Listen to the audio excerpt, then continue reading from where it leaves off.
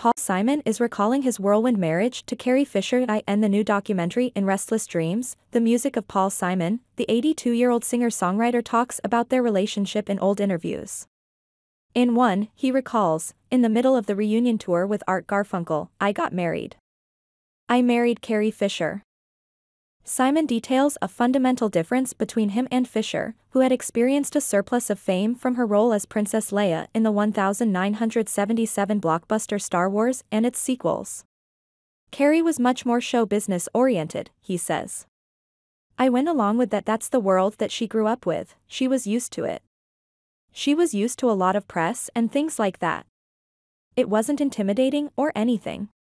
She knew how to manipulate it and make it work for her. She was really good at it, and I wasn't. Saturday Night Live creator Lorne Michaels, who is a longtime friend of Simon's and served as his best man when Simon married Fisher in 1983, says in an interview, For the engagement, we went to Greece. Paul chartered a boat. I was seasick for three days at the rail praying for death. Other than that, it was a really fun time, and for the honeymoon, we went up to Egypt, went up the Nile. He continues, there were lots of things that were remarkable about the time, but also it was two people at career peaks, and that's always complicated.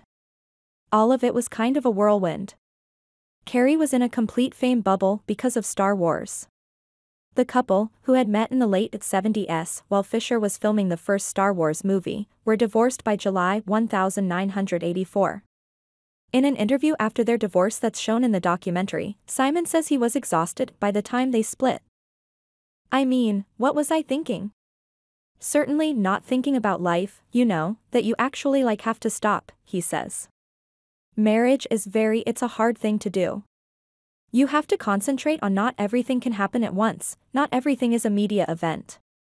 All types of mistakes on top of mistakes on top of mistakes.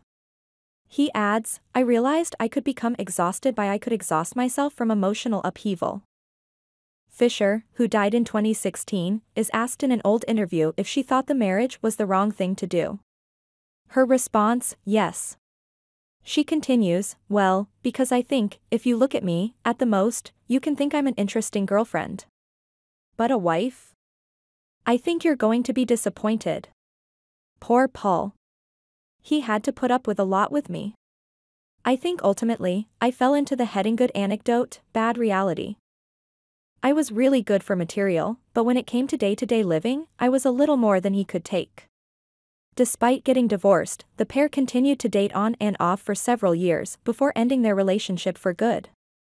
In Peter Ames Carlin's biography Homeward Bound, The Life of Paul Simon, their tumultuous relationship is explained as a mix of love and personal crises, largely due to bouts of depression, personal insecurities and Fisher's drug use.